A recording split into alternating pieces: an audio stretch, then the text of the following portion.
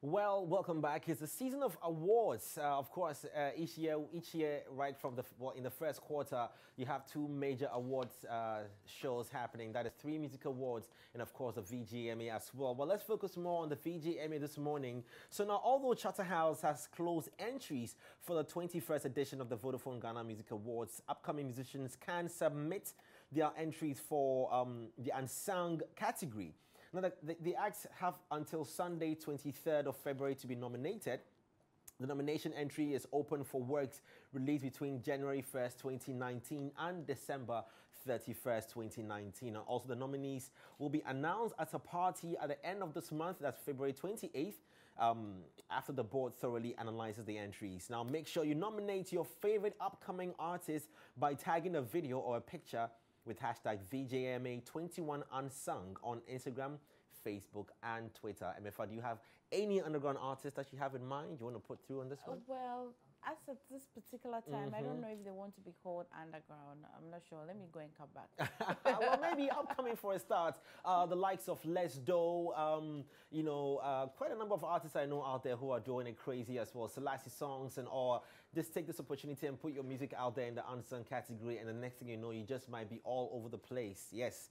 Let's move on to the next story now. Let's jump into the world of movies. So Veteran actor Kofi Adjorlolo has fumed at, at uh, movie producers for failing to pay him after shooting several movies. I'm about to show you a video and this will just blow your mind away. Now, infuriated Kofi Adjorlolo speaking in an interview on Joy News, asked producers to pay him the monies owed him. Now, he revealed that about seven producers owe him after failing to pay him for shooting movies with them. I quote, he says, some of the producers in Ghana they should respect themselves. Oluman like me, that's old man like me, uh, they call me to come and work and they can't pay me.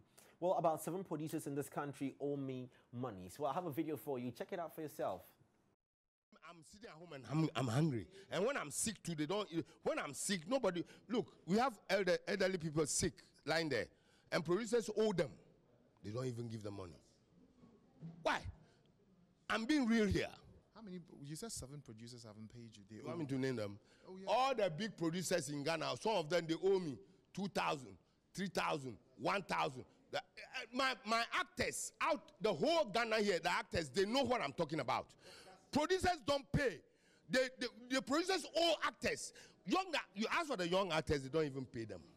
Because of the passion they have for acting, they come and do the work. They don't pay them. I am saying this. Me, Kofi Adjorlolo, I'm saying this. Is, is, I'm so angry here. Eh? Could that be the reason why the, the industry is not that vibrant? I don't know. I can't tell if it's because of that. But if the industry is so vibrant, then I think the stakeholders have to sit down and think. And these same producers are the stakeholders, and they keep talking, talking, talking. Meantime, the artists who are making, who are the ones acting, they don't pay them. So why do you keep on acting? I am angry. Huh? Why do you keep on acting? Why shouldn't you act? Me, I left this job you are doing. You know how many years I did your job? I know. That and I left it because I no because I left this your job with camera in front of me. How many years? Over 17 years I was doing this your job, but I left because I, I needed to do acting. I came into acting too. Nothing is happening to me. No money. How many years haven't I acted? How many producers have not acted? Me, Kofi Adjorlolo, they on the internet say I'm worth 800 mil, uh, 800,000 dollars. Me, me, 800 what? Are you more than? more. Oh, you are not even there. The thing I'm, I'm talking about, if I was more than 800, you, you, you ask me, ask me better questions, Mr. Interview. Interview. Well, yes, uh, on the on the much lighter side, yes, there's a little humor in there, uh, but on the much serious side as well, it's a, a, critical issue that we have to really take a look at, especially those of us in the creative industry. What is at stake for us after many years of serving the industry? It's a big question for the gods, like I mean, every day we wake up to saying that, oh, mm -hmm. you mm-hmm. know, we have to collect some money, so we have to do some sort of contribution to yes. help some actor who's not well, you know, is pensioned and doesn't have money. I really don't know what we can do. Mm -hmm. I don't know who's who's in charge. What what are the measures really? Yeah. That, that's my father really. I love him, and for him when he's feeling imagine. like this, you've got to give him space. Exactly. Yeah. After 17 years of being in the movie industry, probably, and uh, you can co compare him to the likes of you know Will Smith and Martin Lawrence and Wesley Snipes. They've all been in the the movie industry in various countries for all these years. But the big question is which one is making more money at the end of the day, and uh, it's a critical situation situation that we are in in our country, and I think that we must petition the president as well. I think he does extremely well. Listen, when you yes. bring a script to Kofi Adjorlolo, he mm -hmm. takes his time to even correct the English language, mm. reword it, and yeah. that's somebody's job yeah. before he gets in front of a camera and he's there. He doesn't say that he's old, so he wants yeah. to come at a special time. He comes exactly when the producers. I think he's doing well, and he shouldn't be treated like that. He should be prioritized. Really. I know exactly. But anyway, on the much lighter side, yes, a little humor in there. I couldn't tell whether he was it was an actor. Oh, no, I'm just kidding. he wasn't acting. That was real serious business. Yeah. Anyway, let's move on. So last night, I also caught this video and Emefa. This video is just fantastic. I love the music, to be very honest. So I just jumped back onto his Twitter page and I wrote three dopes. Dope one, dope two, dope three. So Lord Paper has teamed up with Atajwa hitmaker uh, Bosom P-Yung now to present to us a classic high life tune is titled Asabone. Now, a word from Twi language which means bad dance. Now, it's a typical Boga High Life melody. Asabone was produced by Gomez Beats and uh, is set to be released for public consumption. But hey, check out the video right now on your screens. I love the music.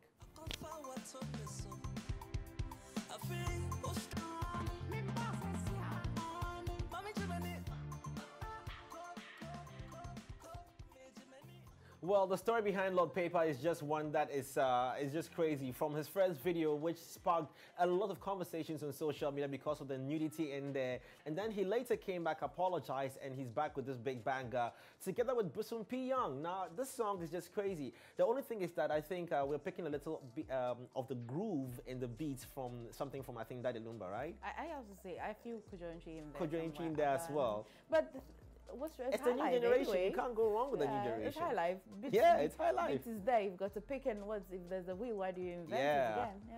Well, so definitely go on YouTube and check out that video. But of course, it's definitely also in our playlist right here on Prime Morning. So you definitely again see it more often. So congrats going out to Lord Paper and Bosom P-Yung. Loving that collaboration. MFS says he's gaining confidence in Bosom P-Yung as yeah, well. Mm-hmm. I am really because then you'd hear somebody make some good song and then that's it. Yeah. And it, it gets to a declining state. Oh, yeah. But this one right here is giving me a lot of energy and I, and I think I'm loving him more. Well, still more focused on more musicians, but this one from Nigeria. So Patoranking has partnered uh, with the African Leadership University to launch the ALU Patoranking Scholarship. Wow.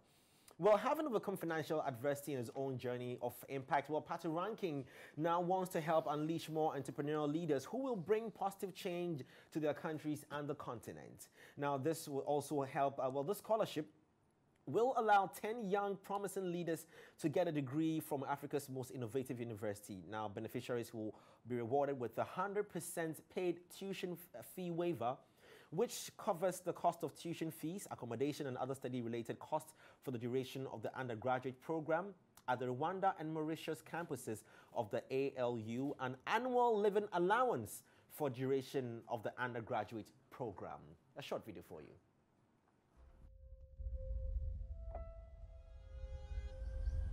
A leader is someone who demonstrates what's possible. I'm a real product of a ghetto called Ebute Metta, and I hope that alone inspires you to know that anything is possible. My name is Patoranking. I wasn't fortunate enough to complete my education, but that hasn't stopped me from being great. Just because I couldn't doesn't also mean we can't inspire the next generation of great African leaders hope. Let's say a very big thank you to uh, Patoranking. Great initiative there with your partners as well, and made a lot see you through with this initiative as well. Let's move on. So, well, G-Eazy and Megan uh, Stallion, a couple. Whew. Well, you follow them on IG, so check this out. So fans have been left in a state of confusion after the American rapper G-Eazy posted a video of himself sucking the face of Megan um, as they cozy up in bed together. Wow. Now, the video, which was posted on G-Eazy's Instagram story, was recorded in Miami while Stars party during the Super Bowl weekend. It's however unclear if the two artists are in a relationship. Well, let the video be the judge of that.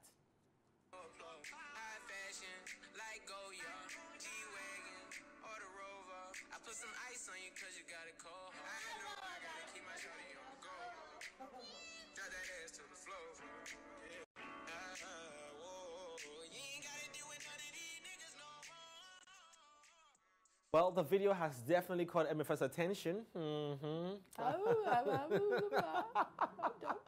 well, she's mute on that one. But anyways, well, your guess is as good as mine. Let's see how long this relationship lasts. As we all know, these celebrity couples always come up with the next story, and they broke up.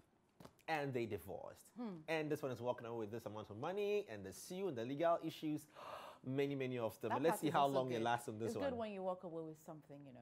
Yes. All right, our last story this morning. So now a Chicago rapper has been sentenced to 99 years in prison after he paid a hitman to actually murder his own mom so he could have access to her bank account and life insurance. Now, uh, Comaine, aka Wilson Young uh, QC, we call him, was found guilty of the murder for hire last year uh, after and yesterday was sentenced to spend the rest of his life behind bars. Okay, now Yolanda Holmes was shot, then stabbed to death by hitman Eugene Spencer after he was ordered by Wilson to make sure the woman is dead. Okay, now the only uh, child uh, Wilson, the well, only child Wilson hired the hitman Eugene to kill his mother so he could have access to her accounts back in 2012. Now the rapper used the money to flaunt his music videos and then would often give thousands of dollars to his fans. May his soul rest in perfect peace. And on that note, that's a wrap on this morning's What's Trending. Back to you, Queenie Star, to give us some more updates with sports.